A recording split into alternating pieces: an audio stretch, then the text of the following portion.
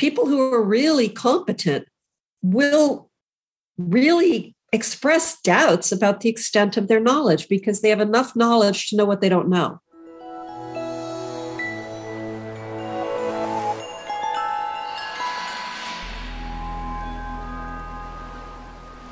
Well, hello, folks. You're back on the Faculty Factory podcast, and I'm your host, Kim Skarupski here at Hopkins.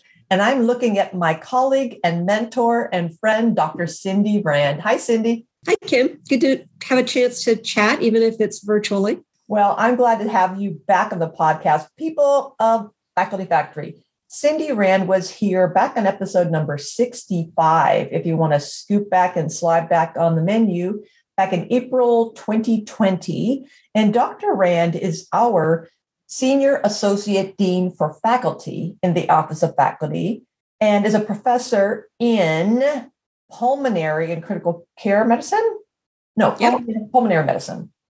Pulmonary critical care. Mm-hmm. Okay, right. And your your research, your whole NIH funded career has been around um, adherence to treatment and therapies and patient compliance. That's right. It's well, I would say that's the underlying theme. I would my my research is focused on the intersection between health and behavior and how uh, outcomes are influenced by what we say to patients and the experience patients have and how they understand and interpret what we've told them. And one of the places that took me was to uh, look more closely at the role of health behavior in health disparities. Mm because I'm in pulmonary and critical care, uh, adherence with asthma therapy, respiratory therapies became a focus. But I would say the broad theme, since I'm trained as a psychologist, has been thinking about health and behavior. Well, let's talk about health and behavior, and let's talk about it in the context of what you and I one of our, our passions and our, and our loves is working with faculty. And you've received a number of mentoring awards over your career and you mentor hundreds of people and are now a certified coach. And this is um, i think the topic you want to talk about it's been around i've heard about it you know maybe a couple decades ago and it's just still there and we can't get rid of it. Talk to us today about imposter syndrome. Well Thank you, Kim. It, it, it is something that I have recently had a chance to talk with a number of women leaders about, and and it's been a reoccurring theme through both my role as a mentor and my role as as a, an executive coach. Is what is it that people are telling themselves? What are their what is their own perception as they advance in their careers about their competence, their suitability, do they fit in? Um, and it, it, the term most commonly used is imposter syndrome, but I'm going to talk about that phrase in a moment. And, and it typically is defined as an individual who believes that somehow or another they have achieved what they've achieved by by hoodwinking people by some means either by they fooled people or they were given special preference or they in some by some means achieved what they achieved their their position in academic medicine their leadership role their title their receipt of awards they received it under really if people knew them they would know they were not deserving of it and mm-hmm. this construct of of somehow being really not as good as the people around you has a corrosive effect on confidence. It can limit people's ability to uh, seek new positions. It can limit their confidence in the positions that they are in. And it's a stressor. It's, it's an overall stressor to feel that somehow where you're at, you don't deserve to be there been striking to me, and, and this is one can just look at the academic literature to see this, is how pervasive it is in academics. Academics, which is in, and this is not just in medicine, it's across the board, which is so much built around the idea of scholarship and knowledge and, and having some deep, deep competency in an area can lead people to look around their their landscape at their colleagues who seem so unbelievably smart oh so competent And by making a comparison of themselves with this colleague or this leader, they uh, self judge that I couldn't, I'm not nearly that smart. I'm not nearly that talented. I'm not nearly that, that knowledgeable about this topic. And it is perhaps even exacerbated by the fact that when you're in an environment with so many outstanding colleagues, you make these comparisons. And we are a comparison culture, right? We do measure ourselves against the person sitting next to us or the person that we're listening to speaking. And, and what's what when you're in the position I'm in, when you get to talk to so many people, again, as a mentor and, and as an executive coach, what you realize is that there's really no point at which that goes away. There's no point. The highest level, at the very highest level, people self question. They wonder whether or not, if they really knew how many things I don't know, would they really let me be here? I really, there's, I can't believe I actually have this title. I mean, I'm, can you believe it, Kim? I'm senior associate dean for faculty. How the hell did that ever happen? I mean, if people really knew, they would never, ever have appointed me there. I mean, and if they knew how many people were better mentors than me, that other people should have gotten those awards. I shouldn't have gotten those awards, right? I mean, it's maddening when I when I see this. I was Cindy. I was on a call, Zoom call earlier this week, and I was giving the slides and running the show. So when I give slides, I can't see all the, the Brady Bunch boxes of people. But all of a sudden, someone spoke up and said that she felt like she was an imposter and struggled with it. And she was telling her story and was being very candid and authentic. And I was scampering because I recognized the voice, but I'm like, that can't be her because she is she is that person. And I'm like, no, it can't be her. It can't be her. And I finally got my slide, my uh, slides to go away so that I could see the box. And sure enough, it was her. And it, it just, in one hand, my heart was just so softened because it was such a, a bold move for her to say on this very public um, call with a lot of people. It was three screens of people to say that. So I, w- I felt so it was really encouraging and humbling to hear someone at that level admit that. And I was also so saddened at the same time to think like, when are when are we ever going to get over this? How, as you said, um, corrosive that if we if we didn't have that self doubt, she's already amazing. Like, how much more could she, would she do if she didn't right. have that little voice up there?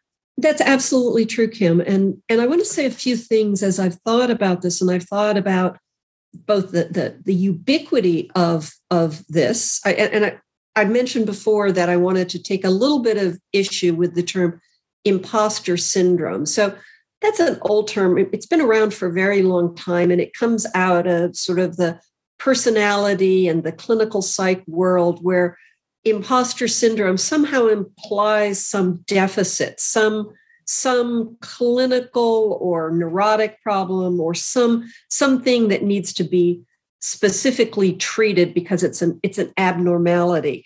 Syndrome implies illness. It implies hmm. something. I, I, think it's more perhaps accurate to say imposter phenomenon. Others have suggested that's a more accurate term. And and there are a couple of factors that are key in understanding it. One is that our, our culture and our social norms are powerful in creating the expectations of who should be a leader, who should be in academics. We look at people's gender, we look at their race, we look at them physically, we make decisions about, well, who should be, what, what do typical leaders look like? Let's take a, a, a division chief or a department chair well, if I look around in, in my own environment, certainly until recently, they were all white males. And eh, if I, as a as a woman, were going to step into that, there weren't a lot of role models. There weren't a lot of examples. I would have been aberrant. So part of what we do is look for is this expected? If, if, if I'm here and I look so different, and I'm not like those people who are supposedly the experts and supposedly the ones who who should be here does that mean that i'm here uh, by some some yeah. am I am I was I here? And it could be just it could be personal doubt. It could be maybe I was advanced as because they wanted a woman. Maybe I was put here for other reasons. So that again adds to the corrosive doubt. But that is a that is a cultural factor around what we see and how we communicate, right? We we we look at what's around us and and very little of our communication calls out the fact that those are those are historical norms. Those are things that were shaped by by racism and and and sexism and, and a whole range of other things. And that's just a, a tip of the iceberg the ways in which culture shape us. So when we talk about feeling out of place feeling like we're an imposter in the setting pause and look around and think about how many role models have you personally had?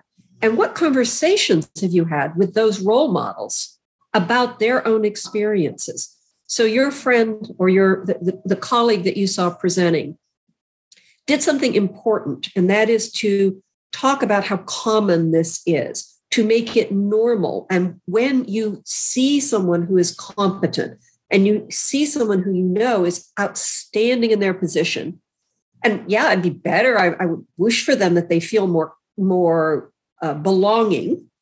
And, and I hope we work towards creating more belonging environments. But it, it should be something you listen to and realize aha, here's a competent person. Here's someone who I respect what they do.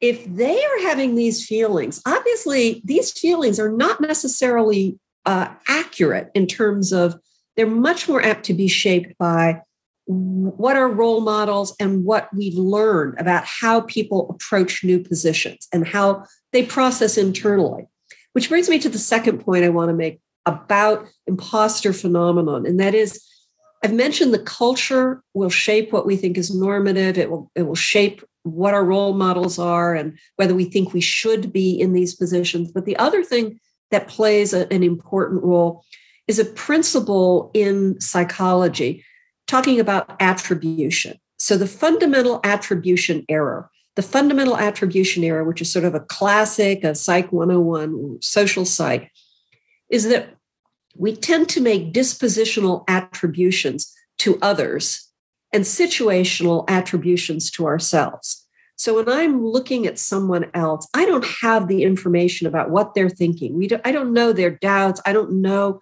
necessarily the challenges they have but I know my own.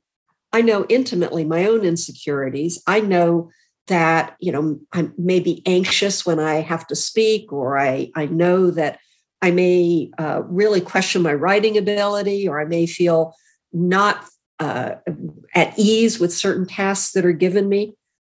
But I don't see that for other people. So when they appear competent, when I watch someone speak confidently, when I watch somebody lead confidently, I don't have access to that information.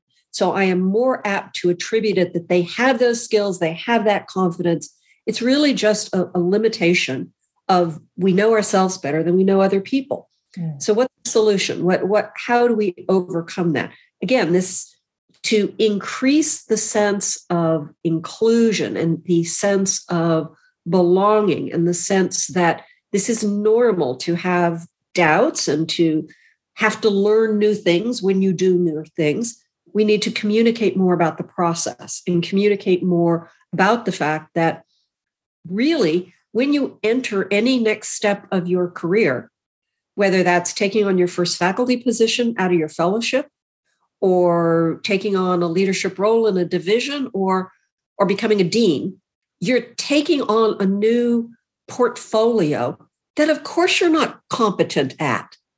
This I actually find for those who have are inclined to imposter phenomenon is somehow they believe that one should be fully competent before one takes on these roles. It doesn't work that way.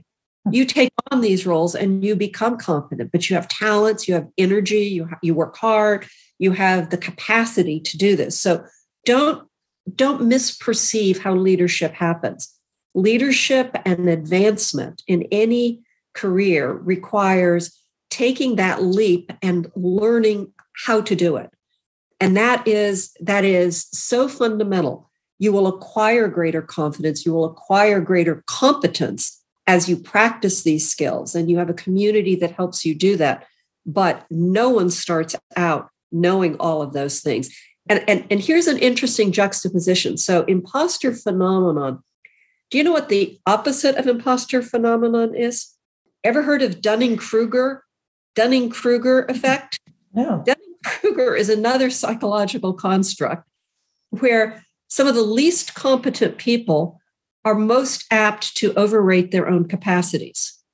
People who are really competent will really express doubts about the extent of their knowledge because they have enough knowledge to know what they don't know.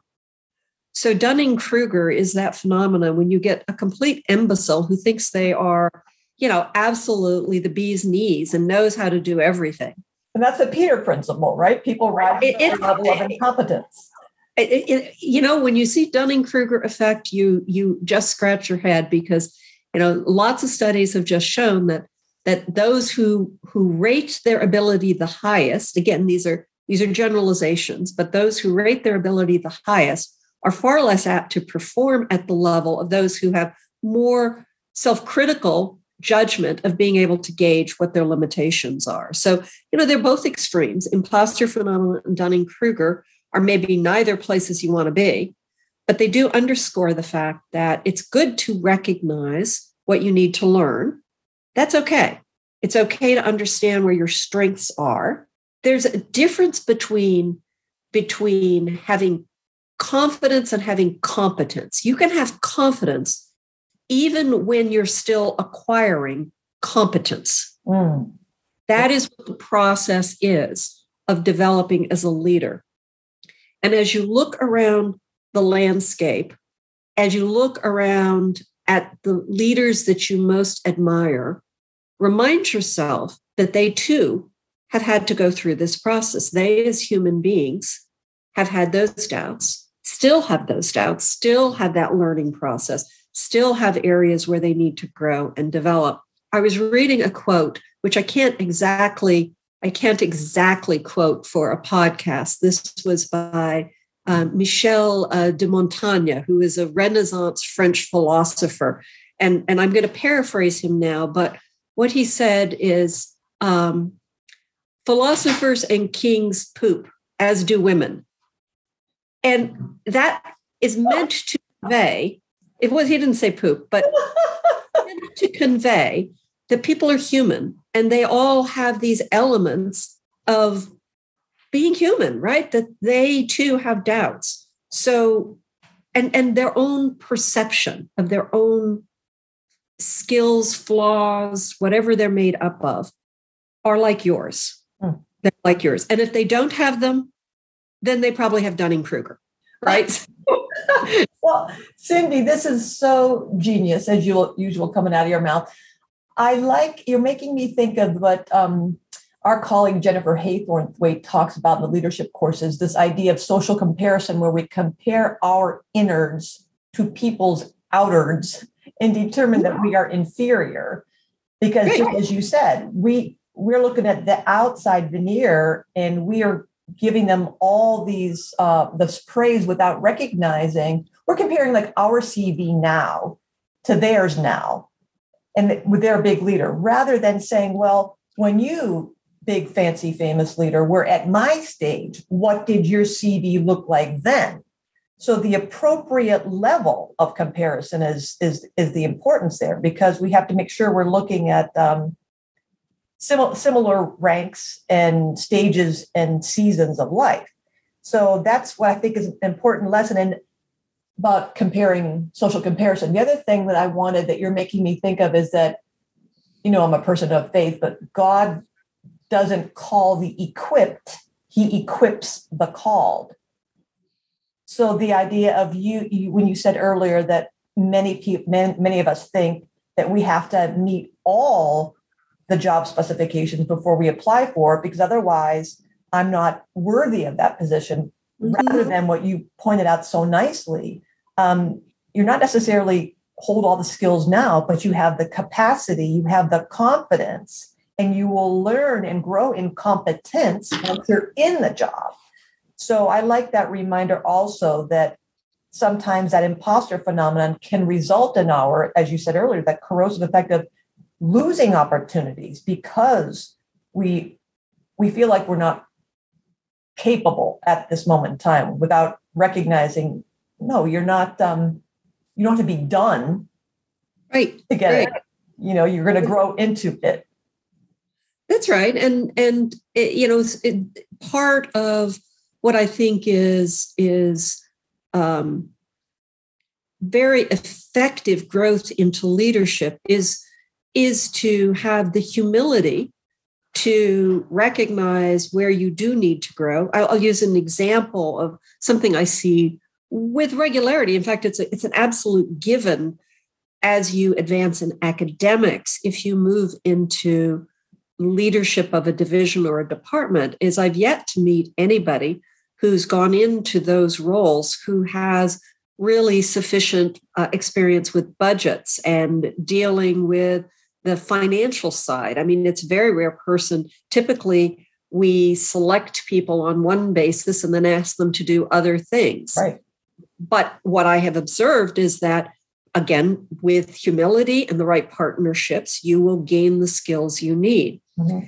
Go back to something you said earlier about comparisons around looking at um, leaders and and making comparisons of yourself to those leaders and thinking about think about the stage that you're in. And I think that's absolutely right. And I would add that people people develop and advance their careers in different ways with different strengths. So your particular portfolio, your particular set of skills at any given stage may not look like your neighbors. You may not, for example, be somebody who is absolutely knocking them out of the park with six publications a year. That may not be your forte. However, you may be exceptionally good at grant writing, or you may be exceptionally good at mentoring, or you may have other capacities that when you team with others who have complementary skills, together you may make very, very good science or build a very, a very good program. So I would I would add to that comment about don't compare at outside of your range. I would also think about the fact that we need diversity in our skills. We need diversity in our people. We need diversity in our our talents. And and I think successful leaders, people who successfully advance in academics, appreciate what they can do. They appreciate where their gifts are. That's an important thing to understand. They appreciate where they may not be their their overriding skills may not be in a given area and they find the right partners mm-hmm. work together and and as a community as an academic community talking about this and sharing and discussing these diverse pathways to success is hugely important my career path is was nothing like my my division chief's path and it was nothing like the, my department chair's path and right. and we we complement each other so um, comparisons we we are a comparison based uh, society and we tend to line up whether it's the our our weight or our our strength or our height or our IQ or our CVs. We want to compare. A, in in real life, it's much more complex than that, and and one can succeed and have a fulfilling and rich life in academics with really a tremendous variety of, of skills and talents. Good mentors, and mm. this is another place you know, I've talked in the past about mentors one of the roles your mentors can play, your mentor can play, if you uh, if, if you probe and ask them about this, if they're not volunteering, is to help you understand where your great strengths are. Yeah. It, it's good to give feedback to your mentees about where they need to grow and develop. But I have to actually say that learning where your strengths are, that is, you know, let that wind behind your back because you know kim you're an extrovert you have the capacity to to communicate. You have the capacity to uh, launch yourself into a project.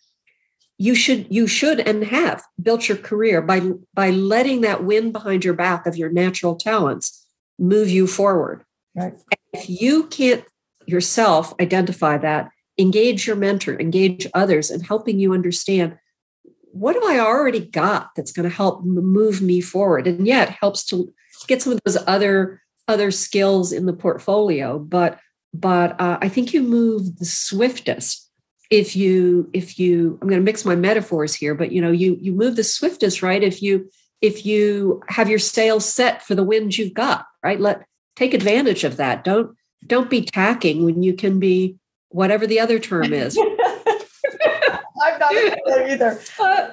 I'm, I'm frantically looking through my sticky notes. I'm i'm high input and so i always have sticky notes but there's something you you're making me reflect on is that the greatest gift we can give to another is not a is not some tangible thing that we give them but rather to expose their hidden talents.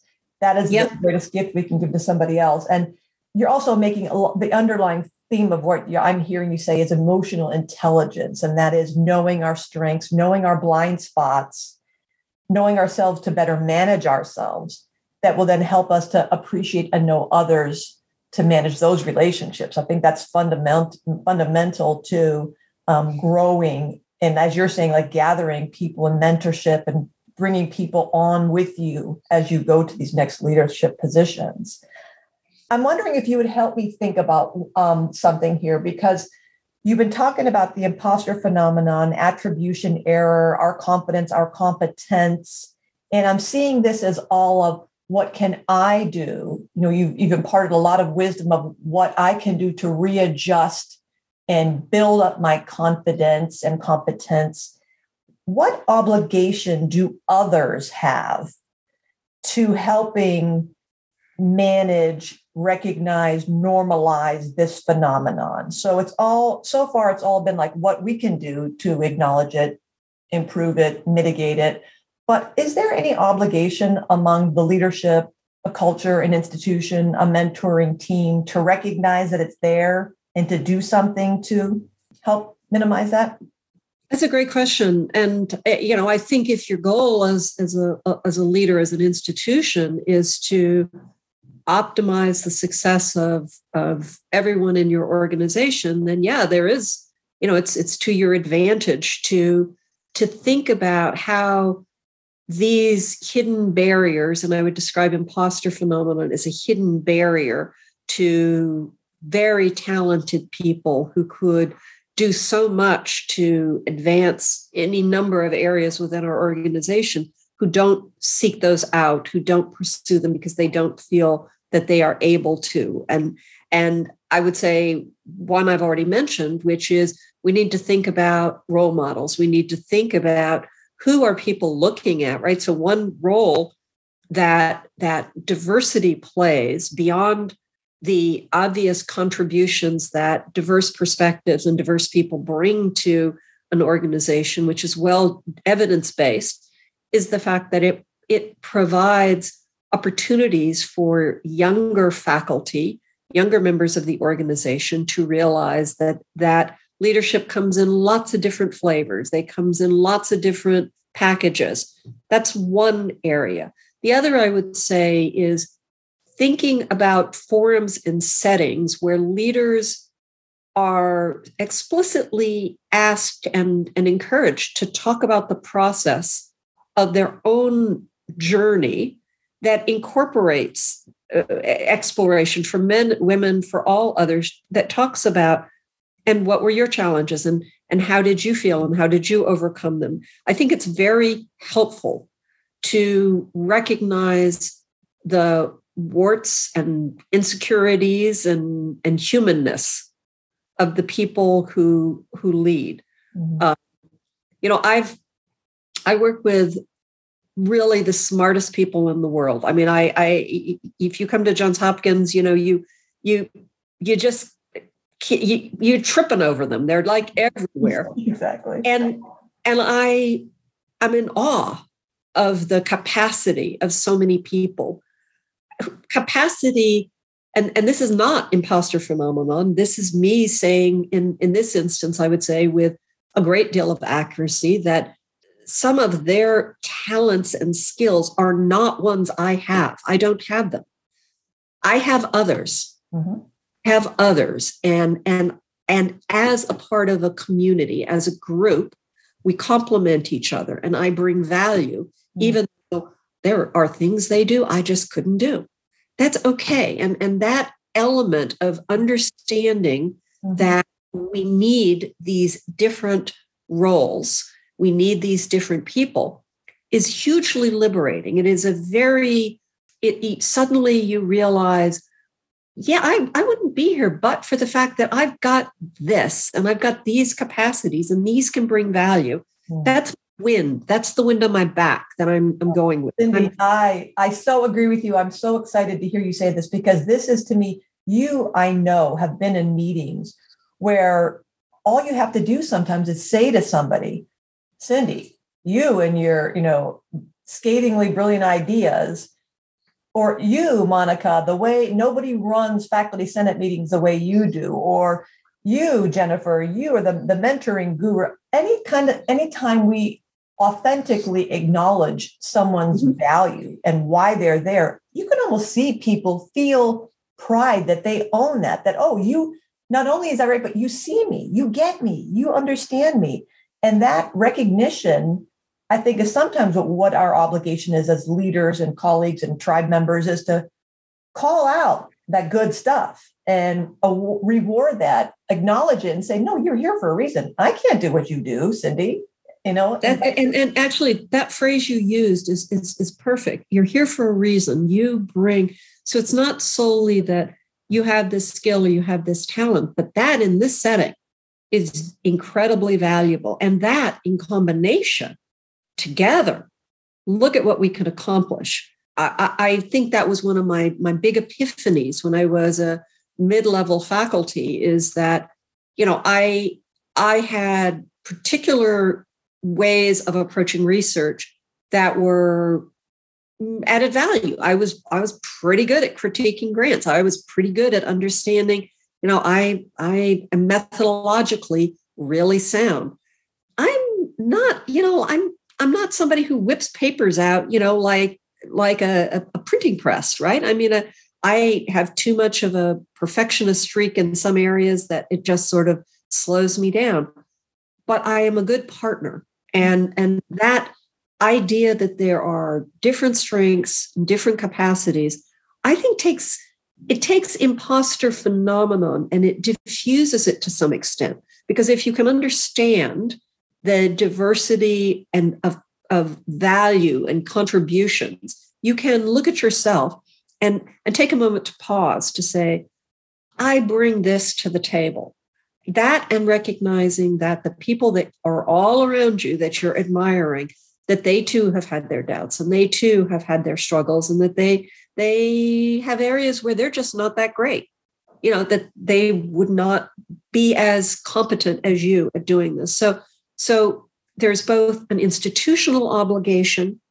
I want to i want to make certain that we we lead we, we end this conversation by re-emphasizing the fact that this is not a psychological deficit. This is not a a syndrome right? This is this is actually so ubiquitous and so common that we could almost call it i don't know it's just part of the academic landscape but it is it is probably unnecessary if we did a better job of communicating what the process is of advancing and this idea of the multiple talents multiple intelligences multiple competencies and the idea that very very often you have to be in a place to actually have the reasons to learn the skills to become good at it.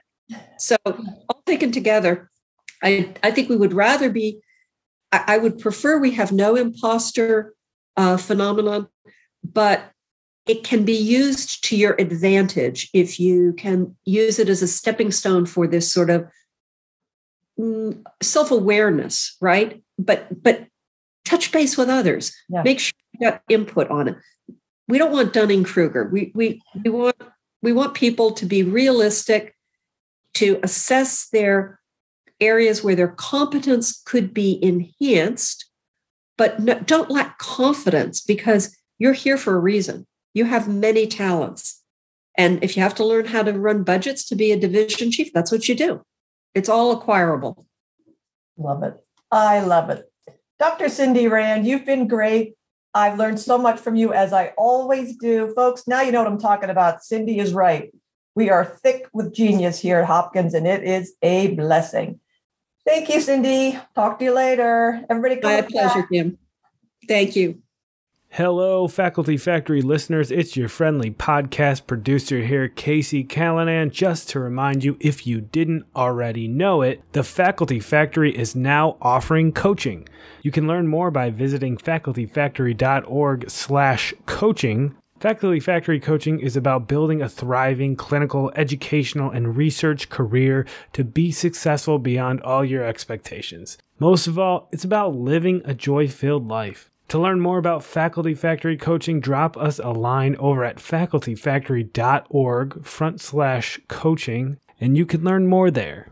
Thanks for tuning in to Faculty Factory Podcast. The mission of the Faculty Factory is to build and support a community of leaders in faculty development who share tools, resources, wisdom, and encouragement in service to our faculty members, schools, and institutions. We encourage you to go to facultyfactory.org to find out more. Get in touch with me, ask me any questions. Maybe you want to be interviewed on the podcast. Thanks for tuning in to Faculty Factory Podcast. We'll see you next time. The Faculty Factory podcast and website is sponsored by the Johns Hopkins University School of Medicine Office of Faculty. For more information, visit facultyfactory.org.